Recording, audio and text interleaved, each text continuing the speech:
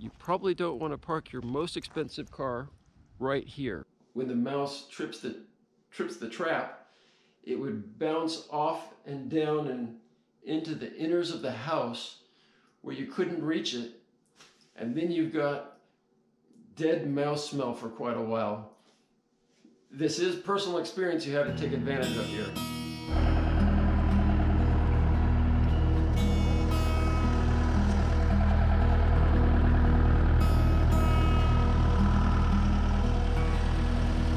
Every house has its own unique challenges, downsides, and difficult issues. This video is going to be a little different than what I usually do. I wanted to focus on those things, specifically whoever ends up buying this place. I just want them to have the head start of my experience to work with. Also, because not all challenges are really all that unique, there's a lot in here that may be of interest to other people. You saw my last video, you'll know that the challenge that's foremost on my mind right now is the fact that we don't have any running water right now. The main water service from the road to our house broke somewhere. So I need to get that fixed before we can sell the house.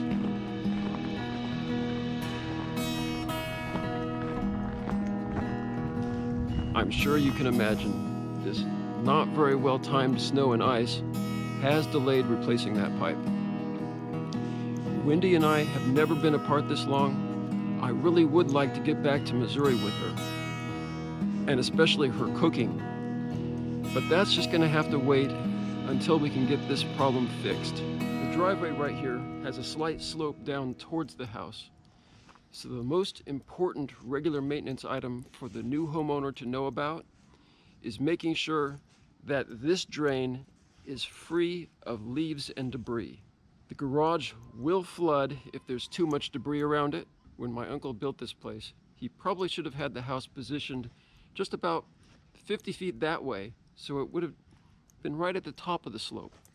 When I first bought this house, it had a flat drain cover, not this popped up one, so it would quickly be covered, and unless you knew exactly where it was, you couldn't even find the drain to clear it under a gigantic puddle of water out here. It almost doesn't matter how careful you are, water will come into the garage sometimes. When it does, it accumulates right by the garage door, but especially right here in this corner. When I built my picture framing workbenches, I lifted this one up on 2x2s so my entire inventory of cut down mat boards would not be ruined in one single heavy rain event. When we bought this house, this drain had been notorious for flooding the carport during heavy rains. It really hasn't been much of an issue for us since we had this tree cut down. I'm pretty sure its roots must have broken into that drain pipe, and when those roots were alive, they were actively clogging it. Of course, it's important to keep the gutters clean.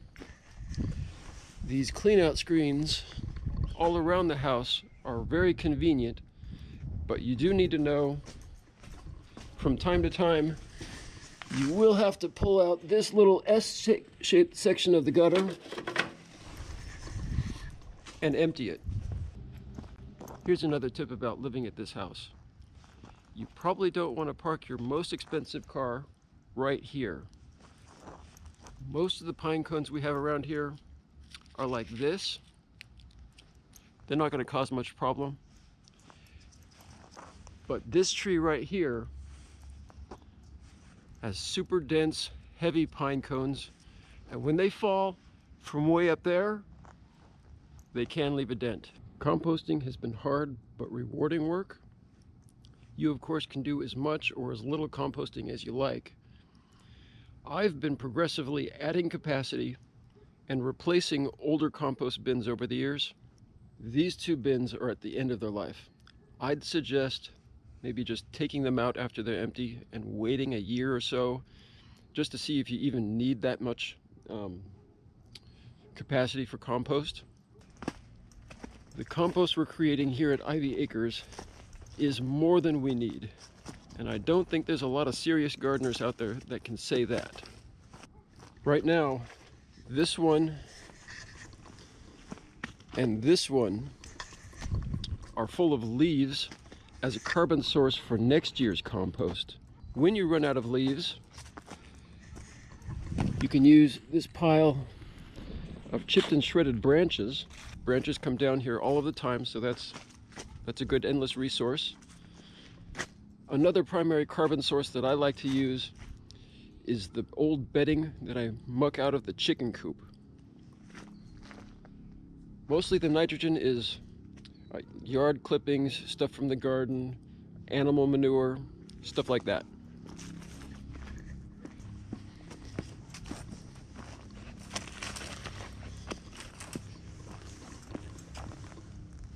Of course, this raised bed needs to be replaced. I'm embarrassed to leave it in this condition, but Wendy insisted that I not spend any money to fix it. It was just an unnecessary, unnecessary expense in her opinion. We picked a bad spot for the greenhouse.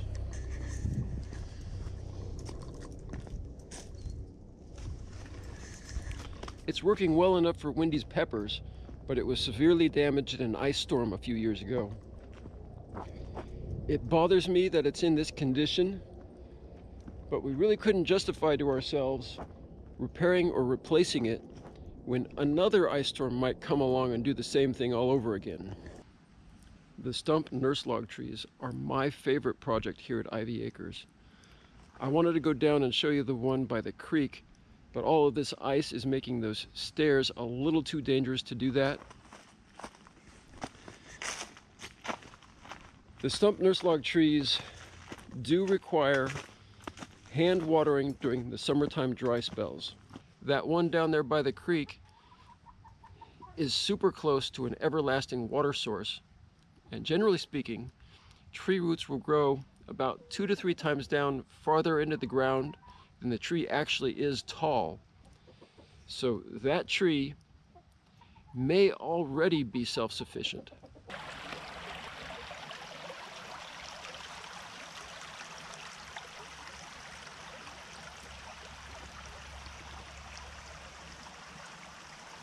Here's that tree I was talking about. The old dead tree stump is contained in the box. The tree's roots are intended to grow down into that stump as a scaffolding.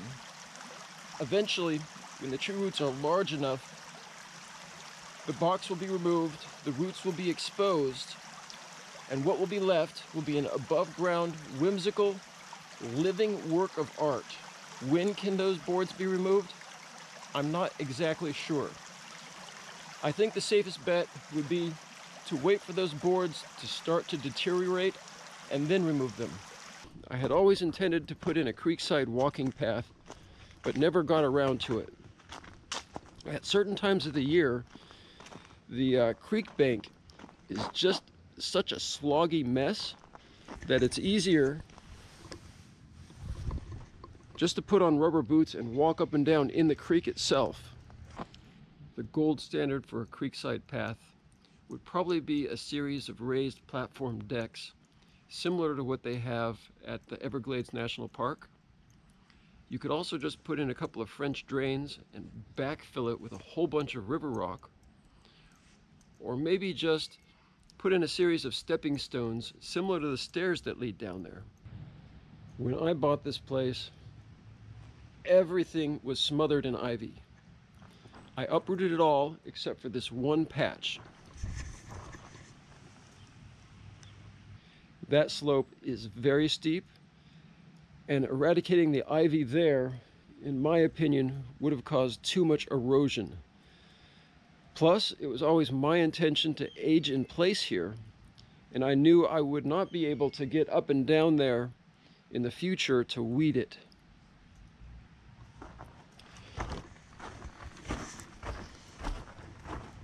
My uncle planted this bamboo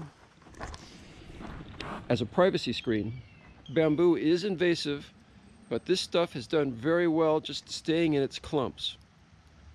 If you did try to just uh, chainsaw the stuff down, the rhizomes underground would go into shock and respond with explosive growth all over the place. Of course, the big trees right around this deck are pretty special. This has been a problem for a long time. The tree is just growing right into the deck. It was just going to be way too difficult and expensive for us to have the deck redone. There were other things out here that we wanted to do. If the deck was ever going to be redone, I would have them do the railings a little differently. Right now the slats go all the way down I would have them end a little bit up off the deck with another 2x4.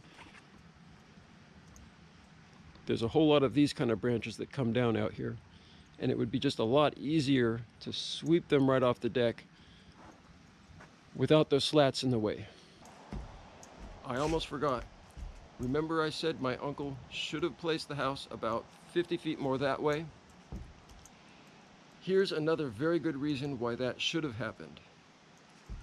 By the time I bought the place, the house had had about 45 years to sink and settle in, and it did so a little more than it should have. The house was kind of collapsing down a little bit, right about here, more or less under where the fireplace is. The prospect of having this place tumble into the ravine was unthinkable to me. So I spared no expense having the foundation stabilized by a company called Ramjack. If you have chickens, you probably need to clean the eggs. My preference is to do it inside the house here in the laundry room. I expected that this drain would quickly clog with stuff, so I had a garbage disposal installed. There's the switch. From time to time, the garbage disposal will overload and stop working. When that happens, the first thing you need to do is unplug the garbage disposal. Right down here.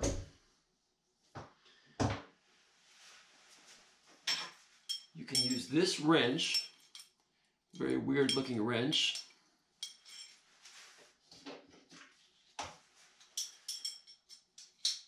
To reach right down through and manually turn the blades in there. And that helps. You may also need to press this reset button. And I like to do that with the plug itself. Mice are a persistent problem here. Wendy likes to say that this house was designed with a super highway for mice right in the middle, and she's not wrong. But that's a good thing and a bad thing. Well, mostly it is a bad thing, but there is a silver lining. Because the mice have such easy access to the core of the house, just inside that access panel for the jet tub is the perfect place to take care of the problem. One of the best things about this location is you can put that cover back on and your pets can't get at the bait. So it's pet safe. At first we'd use standard mouse traps Sometimes they'd work, usually they wouldn't. And even when they did, you'd only get one mouse. And half the time, when the mouse trips the, trips the trap, it would bounce off and down and into the inners of the house where you couldn't reach it. And then you've got dead mouse smell for quite a while. This is personal experience you have to take advantage of here. Anyway, I've got something much better to take care of the mice. Since then, I've been using this tray so the mice easily climb in and then they get caught and they don't fall anywhere and you can just take care of the problem. But I've got something even better than those mouse traps now. A much better way to take care of the problem. It's called Ramik Green. This is not a sponsor, just something that's worked really well for me. it's a poison that uh, makes the mice die of thirst. So they, they eat those little green balls, and because they get so thirsty, they immediately run down and outside the house where water is, and they die outside. It's pretty nice, not even having to take care of the dead mice.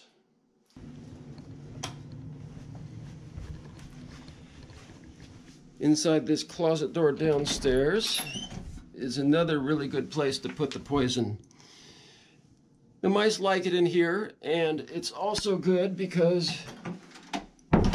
you close up the closet, and again, pet safe. It's been a few days, and the ice is now melting. The utility companies have come out to mark where our water and gas lines are.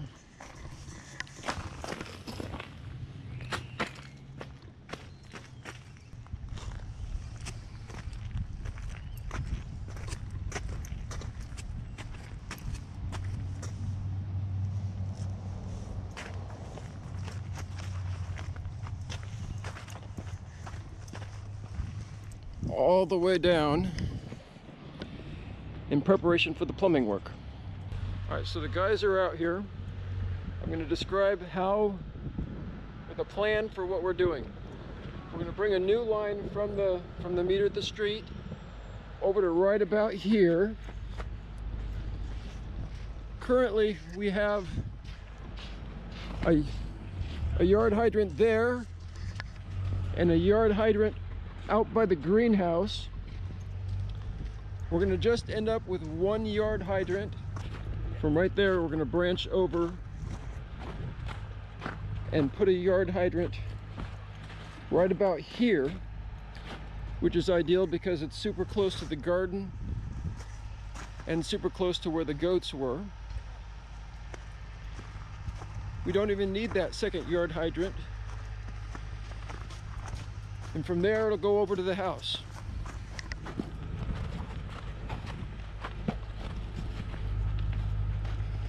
This is Brandon with Obsidian Plumbing and uh, he's helping us out. Yes, sir. Thank you so much. You bet. I had no idea the kind of equipment that was available and what is possible to do these days. I had envisioned having to trench a line, cut up and rip up the driveway, and then have to re-pour concrete after that, what a mess, right? But they've got a drilling machine that can go down and right underneath everything without disturbing much of anything.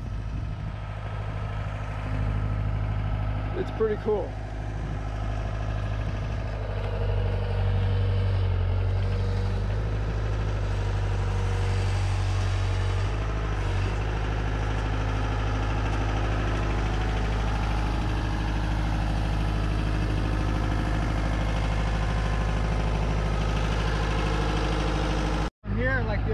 Chinese handcuffs. Okay, so that's uh, that's we'll, pipe will actually stretch it out and pull it. Yep, this goes in, the pipe goes in here and then we'll pull back.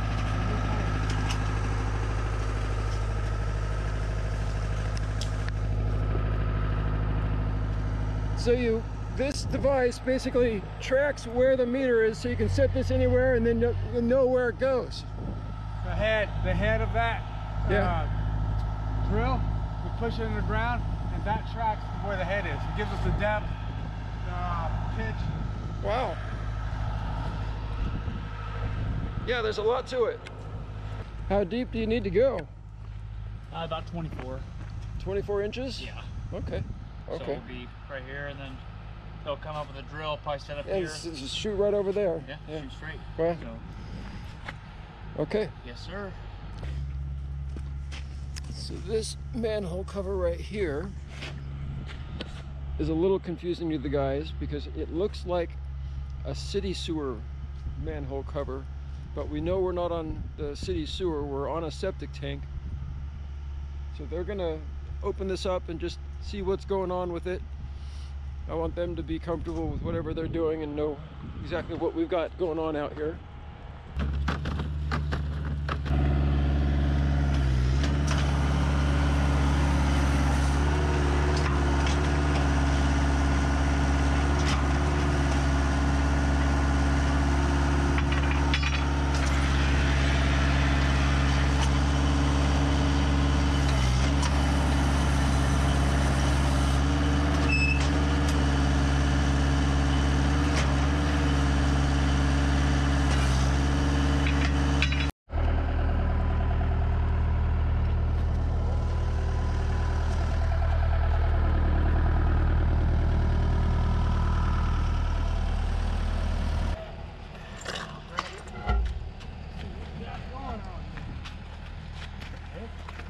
The top of the septic. Burnt. Nah, I really don't know what I'm looking at. It's like a whale or something. Hmm. I know we're on city water. I've been getting the bills all these years. So you don't know what this is. Definitely a lid to a septic tank, probably. It's deep then. Um, so that's that's about 48 inches right there, 50 inches. So if we go 24, then drain fill, we go golden. I think we'll be above everything. No way above. kind of like a metal detector. Kinda, yeah.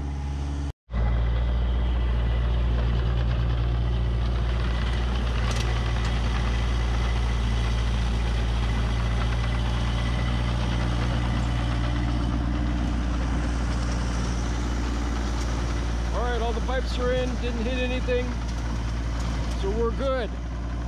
Now the plumber just has to do all the connecting work. We're almost there.